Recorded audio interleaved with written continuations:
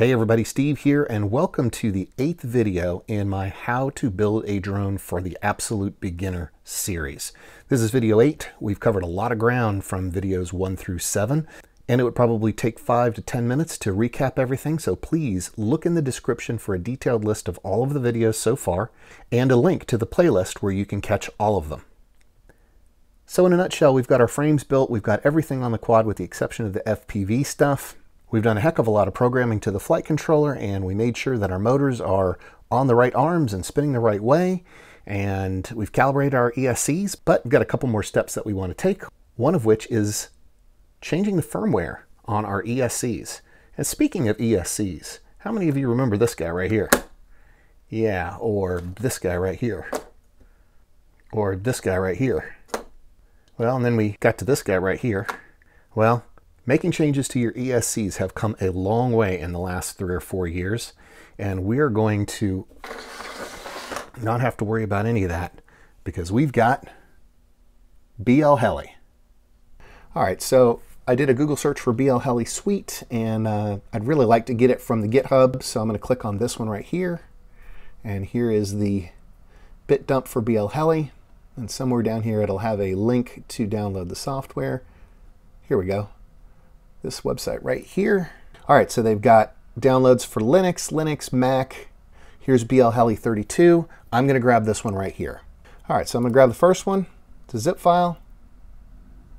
And I'm going to go ahead and click this download right here. Okay, so now that it's downloaded, I'm going to go to my downloads folder and I'm going to right click on it and extract all.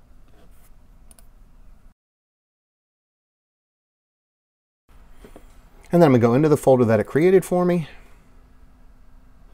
And right here, BLHeli Suite, I'm going to click on this. Windows is going to be nice and say, I'm worried for you, I'm worried for you, but let's go ahead and run anyway. And boom, here we are. All right, so I got Betaflight open, I got BLHeli open. All right, we're going to use BLHeli in its easiest way possible. Uh, assuming that your ESCs are plugged into your flight controller and you have the ability to plug into that flight controller via the USB and you have the ability to send power to the ESCs via a battery, then we're in good shape. This is going to be so easy we don't even have to take anything apart on our quad. First thing that we're going to do is take our USB and we're going to plug it into our flight controller. And we're going to get our usual little blinky lights, the blue one and the red blinking one. Then we're going to come up to Betaflight and we're going to connect to Betaflight. So all we have to do is connect to Betaflight, and now we're going to disconnect from Betaflight. But don't close Betaflight, leave it open. So pull up BLHeli, and then what you're going to do is you're going to come over here and you're going to select Cleanflight as a pass-through. So essentially we're using, well, Cleanflight, Betaflight. We're going to check this option E. You can also use option, whatever that is, 6, option 6. You can also use option 6, but we're going to go ahead and use option E here. Remember, you can't be in Betaflight right now because you have to leave the COM port open for BLHeli. So I'm going to come down here and notice up here in Betaflight, it was using COM 3. So I'm going to come down here into BLHeli and I'm going to select that same COM and I'm going to go ahead and connect. Okay, so now is when the exciting part happens. All right, we're going to take our battery, and I'm trying to do this through the camera. You'll note the tone that the ESC's made. All right, so now I'm going to come down here and I'm to hit Read Setup. And boom, there it is. All of the ESCs. Now, these ESCs actually have the latest firmware on them because I did a test trial through this so that I wouldn't be fumbling through it when I was doing it live for the purposes of the video. But I'm going to go ahead and ignore that. I'm just going to say OK. So the other thing that you can do is you can go into ESC Overview and basically you can see all the different parameters on your ESCs and highlighted in blue are parameters where essentially the numbers are different. So this one's set at 1016 and 20 12, 1016, 2012, and there's a variance here. All right, so one of the one of the most beneficial things that we can do with BLHeli is we're going to come down here and we can flash these ESCs. So what it has done is it has recognized the ESCs that we have, and that's what you're going to want to flash to. there's a drop down menu and that's what you're going to want to flash to. And then multi for multi-rotor and then latest version available. So we'll go ahead and we'll select this and we'll say OK. And it's going to give us a warning and select yes.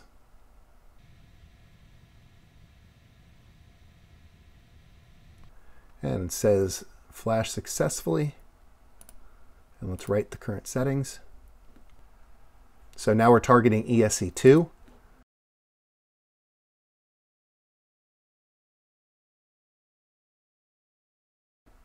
And there they are. So we can select OK. And then one of the other things we can do an ESC overview and look at all the numbers. And because of the manual nature of the way the flash occurred, it set them to 1016 in 2008. But another thing that we can do is we can click on the Motors tab. Make absolutely positively 100% sure that you do not have your props on your quad at this time. And I'm going to come down here and I'm going to click this button and I'm going to hit calibrate ESCs and it wants to calibrate from 1000 to 2000 so I'm going to say OK for all four. And it wants me to power off so I'm going to pull the battery. And I'm going to click OK. And now I'm going to power on.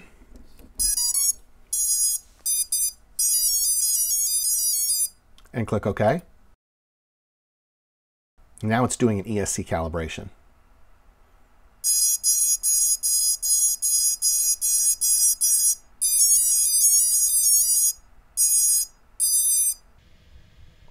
It's done. So we're going to unplug. Uh, we're going to unplug the ESCs from the battery.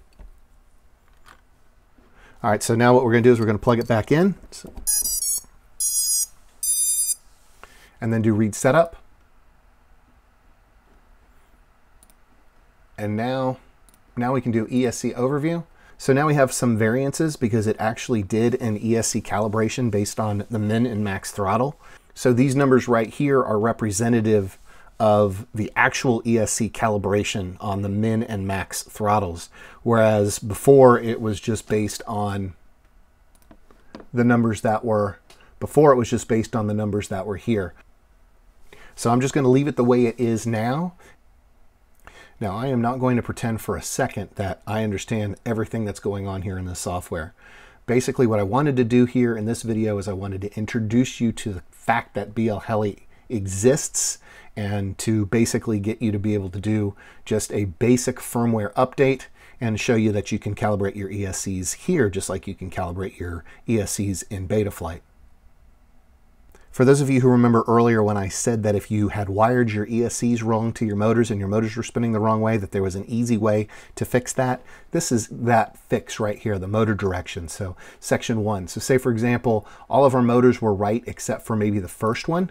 So what I would do is I would left click on it to select it, and then I would come up to normal, and I would change it to reversed, and then I would write the setup, and it says it wrote OK, and then I can go into the ESC overview, and you can see where number one was reversed. So I definitely want to reverse that now so before I forget. I'm going to reverse that again before I forget. And write setup. And then I can go into US ESC overview and I can double check the fact. So down here, if you left click, you can select them. And then if you right click one of them, you can select only. All right, so do you remember earlier when I was picking on the old pieces of hardware methodology for flashing ESCs? Well, um, the reality is, is that not every ESC is flashable through the pass-through. Sometimes we got to just suck it up and, and, and go back and do it the hard way. So check this out. I got a Arduino Nano uh, 328. So that's the selection that I'm going to make on the screen right here. And then I'm going to come down here for the Arduino four-way interface. And I'm going to go ahead and select it. And it says OK. And I got to pick one. I'm going to pick multi. And then I'm going to select open. And now we're going to flash the Nano. So put this right here. All right, I'm going to go ahead and say yes. And the screen's doing its thing. And the nano's getting flashed. All right, and it says OK. So here. All right, so I'm going to come down here and I'm going to select this four-way one and click on it.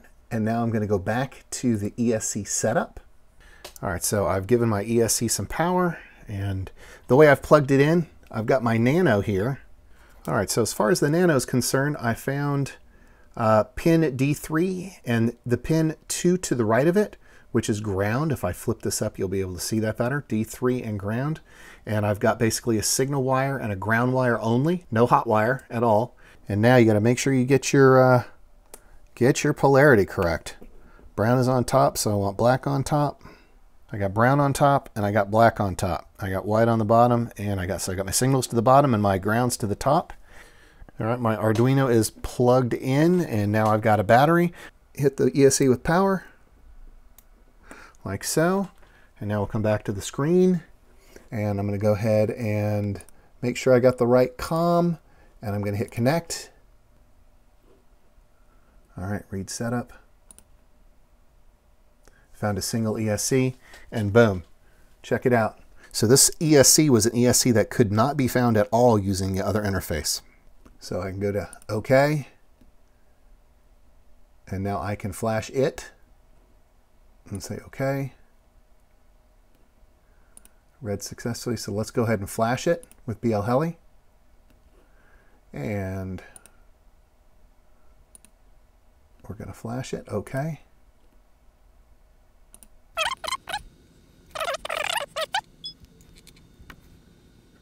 Moving right along, right to the SE, and boom. So I'm so now I could go and I could look at the ESC overview. So in short, that was an ESC that I could not, for the life of me, get flashed through Betaflight pass-through, and I was able to do it with the hardware. All right, so should we push our luck and see if we can get a third one to work?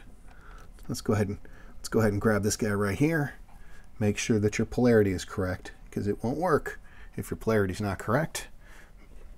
All right, so with this one, the correct settings are going to be that one. So I'm going to go ahead and there's your ESC and read setup. ESC setup and read successfully. All right, so we found a third way to do this.